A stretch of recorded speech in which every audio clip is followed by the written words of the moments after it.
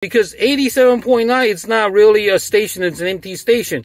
But once you activate my transmitter, the transmitter signals will be able to be picked up by the car radio. So in that point, you'll be able to set up to 87.9 and then just program that to one of your preset.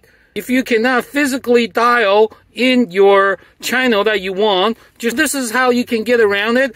Just set it to 87.9 activate your transmitter. Once the transmitter is activated, then you can run a scan um, or seek on your radio.